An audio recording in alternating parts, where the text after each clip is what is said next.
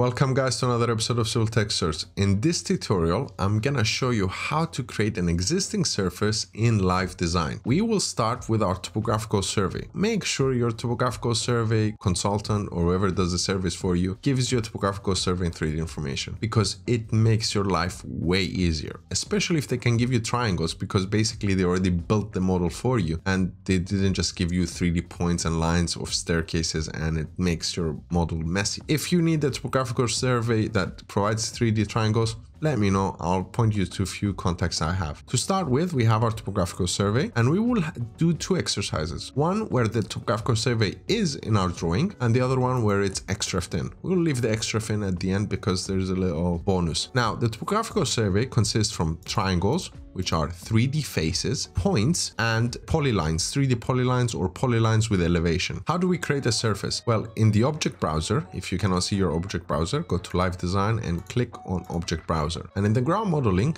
under surfaces, right click and hit add. You can see surface one was created. And if I click on it, you can see in the properties. If you can't see properties, just go to home and make sure the properties window is enabled. Now, if I click on surface one, you can see that the name is surface one. I'm going to change this to existing.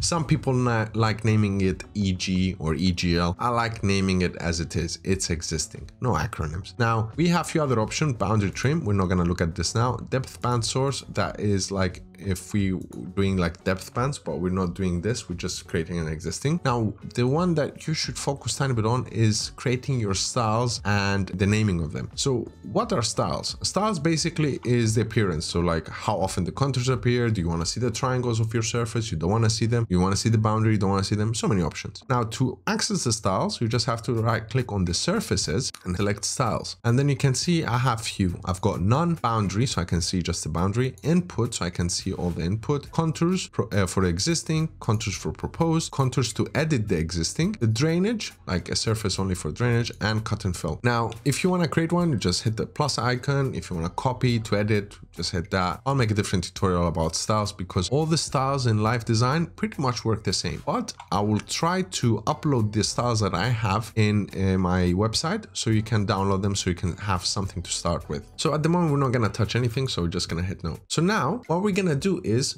because we have points and triangles, we need to select which one we're going to use. Now, my advice and my experience is to always use the triangles because topographical survey guys went to the trouble and created the surface for you. So I'm going to freeze everything and keep my 3D triangles on. Now, it says here create surface from drawing. I believe they meant to say create a surface from a surface or like a face. So that's how it's used because if I use this command to create a surface from the drawing and select points, it will not work. Just to give you an example, I'm just gonna freeze the triangles and right, create surface from drawing, select everything, hit enter, you can see nothing happened. But if I unfreeze everything, put my triangles and right click on the existing, create surface from drawing, select everything because there's 3D faces, hit enter, you can see my boundary has appeared. Now I'm gonna select my existing by clicking on the object browser and I'm just gonna change it to contours existing. And I'm just gonna freeze my triangles just so you can see. So that is my surface. Now if I go look at it in 3D, so I go live design in views, 3D view. Now you can see this is our 3D surface. Now a little point to make is that the finished surface that you cannot delete or do anything, it's standard comes with live design. What it does is it builds your finished surface from your existing. So if I design a road now, the road will be designed on the finished surface and tying to the existing, which has been copy pasted to the finished. That's a simple way to explain it. And that is how it will work. But what I will do is I like turning off the finished surface and make sure that my existing style, so if I go to my styles and you can see my contours existing has the triangles on if I untick the 3D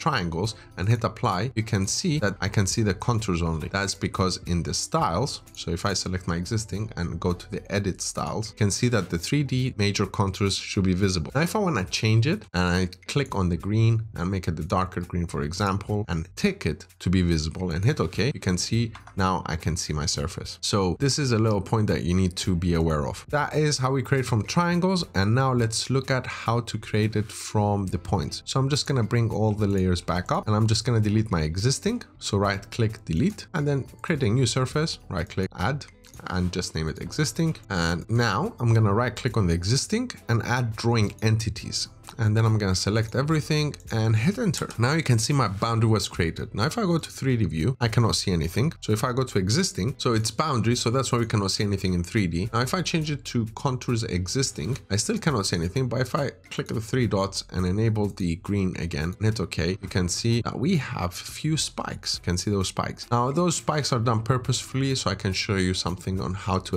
fix this. So these spikes are basically telephone poles. Now, how do we get rid of them? So we need to delete these vertex. Now, if I hide the layer, nothing will happen. So one way to work around it is hide the layer, delete the surface, redo it again. But there is no need for that because you can actually edit your surface. So if I select my surface and in the styles, I'm just gonna change and make sure that the vertices in 2D are on. Or you can do what I did is have a predefined style contours edit existing. So you can see that I can see my vertices. When I select my point, I can see the blue dots. These are the vertex and I can edit them. You just hover over it and you can select edit elevation or delete vertex. In my case, I want to delete them. And you can see the surface automatically updates. I'm just gonna fix this one as well. Delete vertex and then select this one, delete vertex. And now if I go to 3D view, you can see I cannot see anything because because the surface doesn't have 3D triangles enabled. So I'm just gonna enable them and white is not a great color to make your surface on. So I would advise to change it to a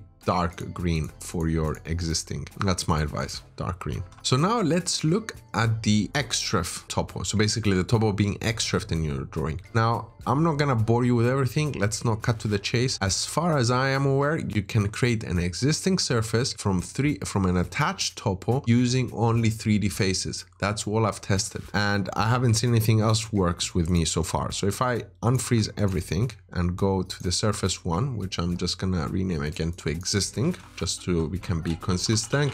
And then we're gonna right click and then create surface from drawing and select everything and hit enter. You can see our boundary was created. If i undo and right click add drawing entities nothing will happen and if i unfreeze everything and freeze the triangles and right click add from surface entities select everything nothing will happen and create surface from drawing nothing will happen now if you have tested something else like i don't know lines not 3d polylines not polylines but lines and it works let us know in the comments below as i said we just go make sure we enable our triangles freeze everything else, right click, create surface from drawing, select everything, hit enter. Now, the good part about this is now if I go to home in the attachments and I unload my drawing, my surface is still there. So I don't have to worry about seeing, so I don't have to worry about like seeing the layers of the top because sometimes we just want the contours. So yeah, that is the benefit of it in my opinion. And you can see that is my surface. So I hope you found this tutorial useful. If you liked it, hit the like button. If you loved it, hit the subscribe button and share it with your colleagues so they will stop bugging you into creating a surface and they can learn by themselves. And I'll see you in the next tutorial.